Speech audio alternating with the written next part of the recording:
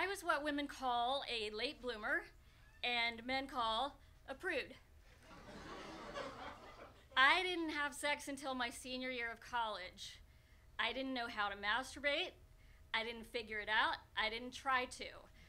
I thought, if I don't know what sex feels like, what good is it going to do me to try to create that same feeling for myself? Once I discovered dry humping, I was content with that. I didn't want to actually have sex. It was so daunting. My mom had raised me believing that sex was naughty and not in the good way. It was bad. It was something for trashy, depraved people, unless you were married. When I was a freshman in high school, a tale circulated of a girl classmate who had sex with her junior boyfriend in his truck. In this anecdote, she screamed so loudly that all the windows in his truck shattered.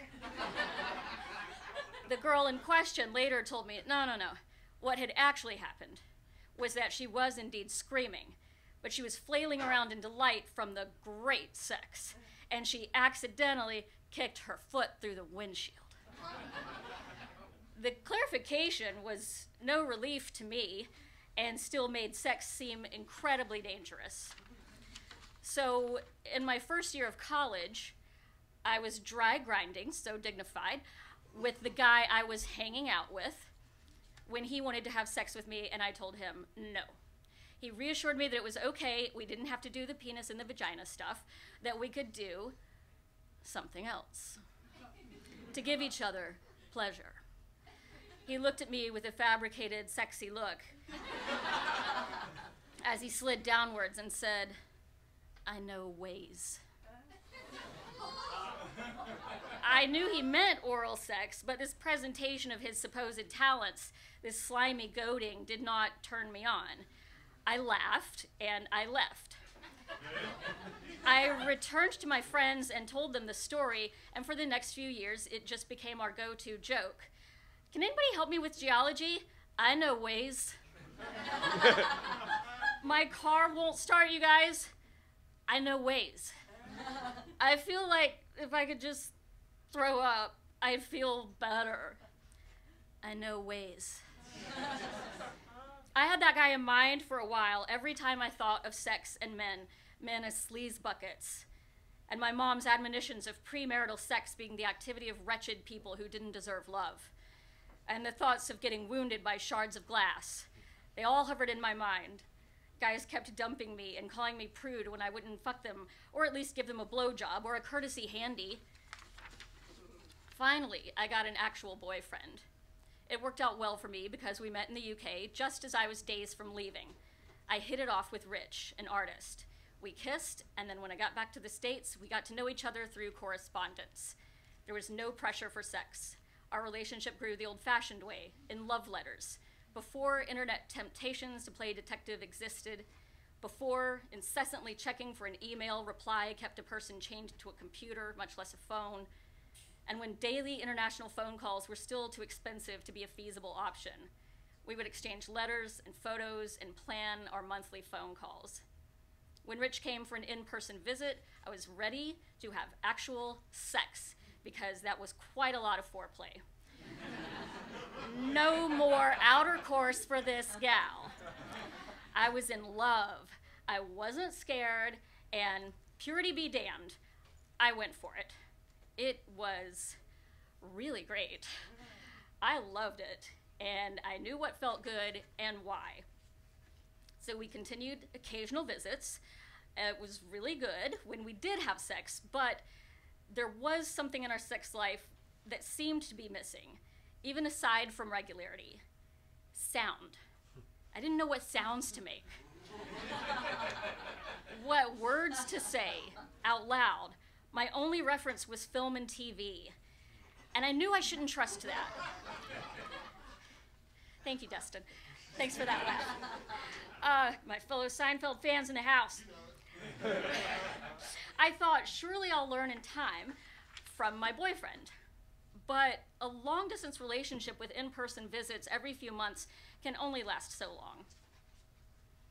After that, there was Sam, a beefy, smart, but immature rugby player. We were getting, yeah. Mm.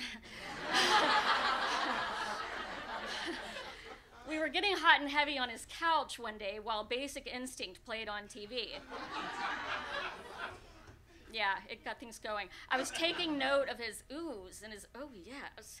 But then I heard, ooh, hold on, hold on, as he climbed off of me to watch the scene in which Sharon Stone uncrosses her legs. I left. There was Chris, a bleached, platinum, cool New York City musician. Things were escalating in his bed when he suddenly, purposefully, tightened his lips over mine and burped into my mouth. he fell over laughing. I felt it coming up and I just had to do it, he said. I left. I wasn't learning anything about proper bedroom talk. I met Tom, an aspiring filmmaker who became my boyfriend and I finally learned true dirty talk. Not only did I learn it, I was inspired to create it. He was so into talking filthy that it got me going, got me hot, and had phrases pouring out of my mouth that I never thought I could speak. I got into watching porn because of and for him.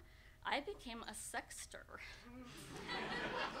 this had all gone ridiculously beyond some nasty little pillow talk. We were together for several years. But over time, I grew kind of weary. Our relationship was falling apart. I became frustrated with sexting, trying to use one hand to complete business and the other hand to text. Have you ever seen phones from 2006? I was increasingly turned off by the porn, the misogyny of women being held and kept down. I was getting angry with all of Tom's dirty talk. The stuff I'd been wanting to engage in for so long now felt like a slap in the face. You like it, whore? Are you my dirty slut? Beg me for it, you little cunt. I wanted to think of equivalent names to call him, but I couldn't. Yeah, I like it, you little shithead. I don't know. Try calling a guy a filthy slut in bed as a woman and see if you're taken seriously. a sense of lost respect slowly washed over me. And maybe the respect was never there. The frustrations were symptoms of enormous problems commitment, abandonment, arguing, cracks in the bedrock. We crumbled into a pile of pebbles, and I left. I moved to California, where I met Stephen, a real estate agent. He loved to whisper in my ear, Your boobies make my wiener hard.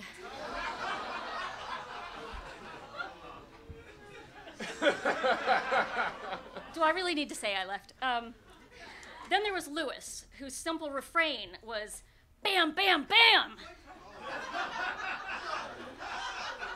he was in tech.